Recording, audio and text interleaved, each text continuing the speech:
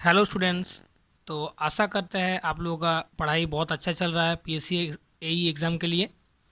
तो हम लोगों का फ़र्स्ट वीडियो आ चुका था सॉयल मैकेनिक्स के ऊपर, जहाँ पर हम डिस्कस किए थे कि कौन कौन सा टॉपिक फ़र्स्ट टॉपिक के अंदर पीएससी के अंदर इम्पोर्टेंट है कौन कौन सा जगह को बहुत अच्छा से देखना है। तो उस वीडियो में हम कुछ पार्ट को छोड़ दिए थे, जिसको हम लोग ये वीडियो में कवर करेंगे।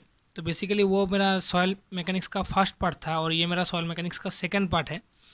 तो आज हम डिस्कस करेंगे कि सिया स्ट्रेंथ ऑफ़ सॉयल के अंदर कौन कौन सा टॉपिक बहुत इंपॉर्टेंट है।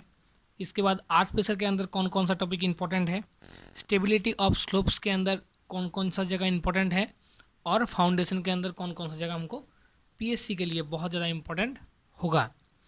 तो जो भी टॉपिक हम यहाँ पर बोलेंगे, वो टॉपिक को इंडिविजुअली जाकर बहुत अच्छा से कोई एक स्टैंडर्ड बुक लेकर या एग्ज़ाम टाइप करके वहाँ से पढ़ना है और यहाँ से जो भी क्वेश्चन आएगा, हम ऐसे और कर सकते हैं कि मैक्सिमम नंबर ऑफ़ क्वेश्चन ये जो टॉपिक हम बोल रहे हैं, यहाँ से ही आता है आता है या आएगा।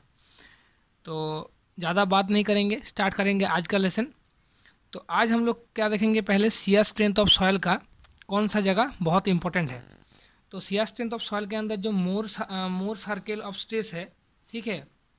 मोर सर्किल का जो डायग्राम है, फिर वहाँ पर क्या major principal stress minor principal stress normal stress shear stress ये सब जो डायग्राम है और ये जो फार्मूला है, ये फार्मूला को बहुत अच्छा से देखना, क्योंकि यहाँ से बहुत छोटा छोटा न्यूमेरिकल या डायग्राम से रिलेटेड कुछ क्वेश्चन आ जाता है। इसके बाद maximum minimum shear stress in Mohr circle कहाँ पर होता है, ये भी बहुत बार क्वेश्चन में दिया गया है। तो इसको एक बार देखना। फिर फेल्योर एनवेलप क्या होता है फेल्योर एनवेलप कैसे क्रिएट होता है, उसको एक बार देखना।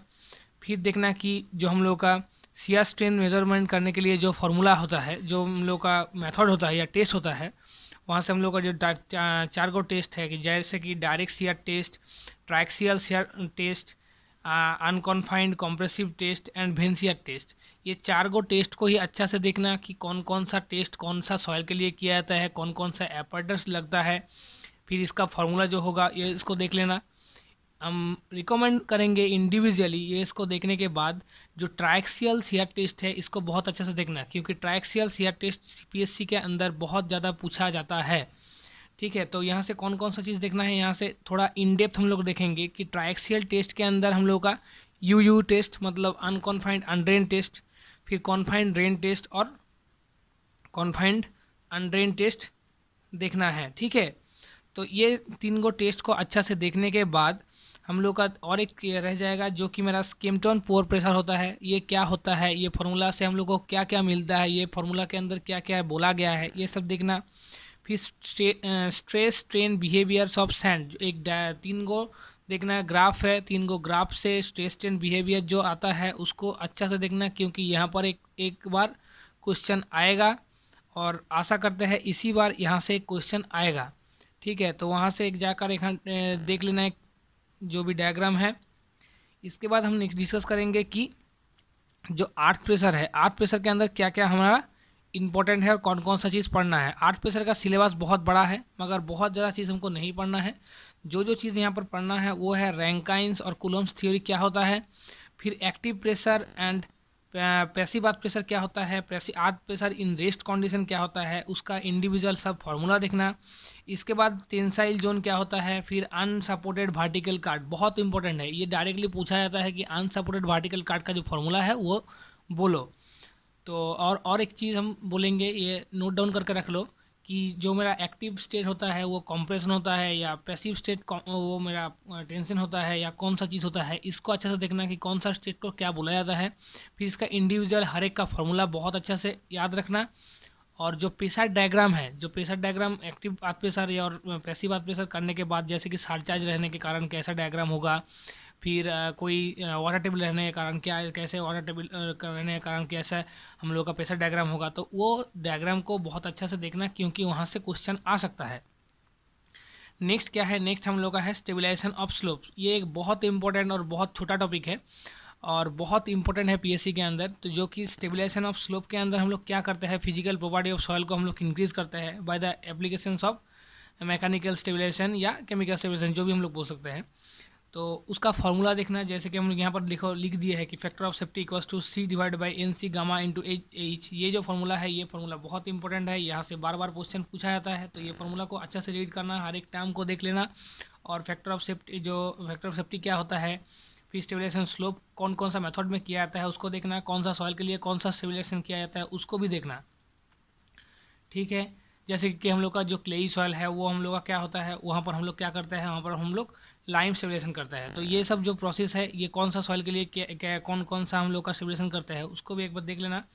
फिर इन जो हम लोग का इनफाइनाइट स्लोप है और फाइनाइट स्लोप है उसको उसका जो कंडीशन है कि कौन सा कंडीशन के अंदर फाइनाइट स्लोप होगा कौन सा कंडीशन के अंदर इनफाइनाइट स्लोप होगा उसको भी एक बार अच्छा से देख लेना। ठीक है? नेक्स्ट हम लोग देखते हैं।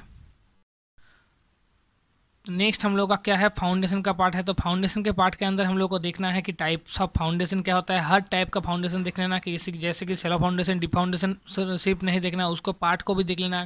ठीक है? स्प्रेड फाउंडेशन किसको बोलता है? स्पीड फाउंडेशन किसको बोलता है? सब पार्ट को देख लेना। इसके बाद जो all foundation of type formulas जो भी फाउंडेशन का फार्मूलाज है, जैसे कि सर्कुलर फाउंडेशन के अंदर या सर्कुलर फुटिंग के अंदर क्या फार्मूला होगा? स्ट्रिप फुटिंग के अंदर क्या फार्मूला होगा? तो सब फार्मूला को एक बार देखना। बियरिंग कैपेसिटी फेलियोर ये बहुत इंपॉर्टेंट है बियरिंग कैपेसिटी फैक्टर या बियरिंग कैपेसिटी फेलियर जो होता है, वो क्या क्या है? उसको एक बार देखना bearing capacity factors cohesion and cohesive cohesionless soil के अंदर जो भी मेरा बियरिंग कैपेसिटी फैक्टर है N C N Q N gamma ये सब जो हम लोग का फैक्टर का वैल्यू है, वो क्या क्या, कैसा कैसा चेंज होता है आफ्टर चेंजेस कोहेसन और कोहेसन लेस सॉइल के कारण। उसको देखना, इसके बाद Skempton Skempton value of cohesion cohesion soil जो होता है, उसके कारण एनसी का वैल्यू क्या होता है मैक्सिमम जानते हैं नाइन होता है। इसके बाद हम लोग का जो स्क्वायर फुटिंग होता है, उसके अंदर क्या होता है? सर्कुलर फुटिंग के अंदर क्या होता है? इसको देख लेना। फिर वाटर टेबल इफ़ेक्ट को देखना प्लेट लोड टेस्ट पढ़ना। प्लेट लोड टेस्ट बहुत इंपॉर्टेंट है। यहाँ पर तीन गो टेस्ट है। उसके बाद भी हम डिस्कस करेंगे कि सिर्फ़ जो हम लोग का प्लेट लोड टेस्ट है, ये बहुत इंपॉर्टेंट है। तो प्लेट लोड टेस्ट में क्या क्या पढ़ना है? प्लेट लोड टेस्ट के अंदर पढ़ना है कि कौन सा सॉइल के लिए प्लेट लोड टेस्ट किया जाता है, फिर प्लेट का साइज़ कितना होता है कौन सा टाइप ऑफ़ सॉइल हम लोग यूज़ करेंगे, इसका फार्मूला देखना। सबसे जो इम्पोर्टेंट फार्मूला है, ये दो फार्मूला है, जो कि ग्रेनुलर सॉइल के लिए फार्मूला यूज़ करता है और क्लेई सॉइल के लिए ये यूज़ करता है। तो ये बहुत बार पूछा गया है पीएससी एग्ज़ाम में बहुत फेवरेट टॉपिक है पीएससी का। प्लेट लोड टेस्ट को अच्छा से पढ़ना, ठीक है? इसके बाद फाउंडेशन का जो सेटलमेंट है फाउंडेशन सेटलमेंट के अंदर क्या क्या देखना है हम लोग का? देखना तीन को चार को ग्राफ है, जैसे कि हम लोग फाउंडेशन सेटलमेंट देखेंगे तो वहाँ पर फ्लेक्सिबल और रिगिड फुटिंग हमको मिलेगा।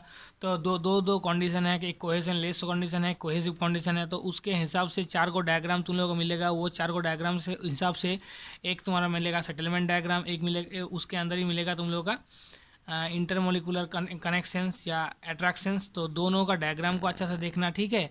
कौन सा सॉइल के लिए कौन सा डायग्राम उपयोग किया जाता है, उसको देखना फिर टाइप्स ऑफ़ पाइल पाइल कौन सा टाइप का होता है?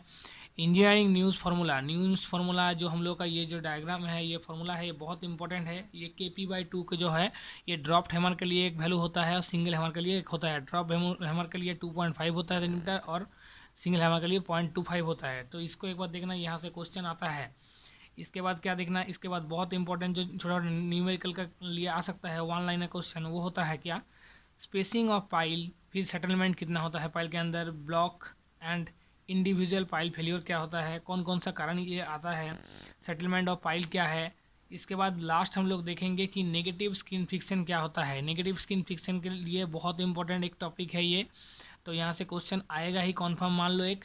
तो इसको अच्छा से देखना नेगेटिव स्किन फिक्सन कैसे होता है, क्या कौन कौन से डायरेक्शन में होता है, उसको जो होने के कारण सराउंडिंग सॉइल के अंदर क्या इफ़ेक्ट पड़ता है, ये सब चीज़ को देखना है। ये सब चीज़ देखने के बाद, जो भी हम लोग का, और एक चीज़ हम यहाँ पर इंक्लूड करेंगे, जो कि मेरा डायरेक्टेंसी करेक्शन है और ओवर करेक्शन है तो उसका एक फॉर्मूला है, उसको अच्छा से देखना। फिर वहाँ से जो जो एजम्पन्स दिया गया है, उसको भी देख लेना, ठीक है? तो ऐसे करके पढ़ने के बाद आशा करते हैं जो मेरा सॉयल मैकेनिक्स है, वो पूरा पूरी कंप्लीट हो जाएगा। और जो भी वीडियो यहाँ पर हम वीडियो के अंदर जो भी पॉइंट डिस्कस किए हैं, उसको एकदम थरली वहाँ से जाकर क्वेश्चन को देखो, उसको थियोरी को पढ़ो। कोई भी कॉन्सेप्चुअल प्रॉब्लम है तो मेरा वीडियो है नीचे, उसको जाकर दे सकते हो। डिस्क्रिप्शन में उसका लिंक दे देंगे। फिर उसके बाद जो जो टॉपिक यहाँ पर हम लोग दो वीडियो में डिस्कस किए, पूरा पूरी उसको कंप्लीट करो। इसके बाद हम लोग नेक्स्ट वीडियो ले आएँगे, जो कि मेरा होगा इन्वायरमेंटल इंजीनियरिंग के ऊपर। क्योंकि हम लोग जानते ही है soil mechanics environmental engineering highway transportation engineering fluid mechanics, survey, ये सब बहुत इंपॉर्टेंट टॉपिक है पीएससी के अंदर। तो ये जो इंपॉर्टेंट टॉपिक है, इसको पहले हम लोग कवर अप करेंगे। तो आशा करते हैं बहुत जल्दी हम लोग मिलेंगे और बहुत अच्छा से पढ़ाई करते जाओ। आशा करते हैं आप लोगों का एग्ज़ाम बहुत अच्छा जाएगा। तो ठीक है, मिलते हैं नेक्स्ट वीडियो में। Thank you please subscribe my channel civil engineering academy और बहुत ज़्यादा शेयर कीजिए ये चैनल को। चलिए मिलते हैं नेक्स्ट वीडियो में।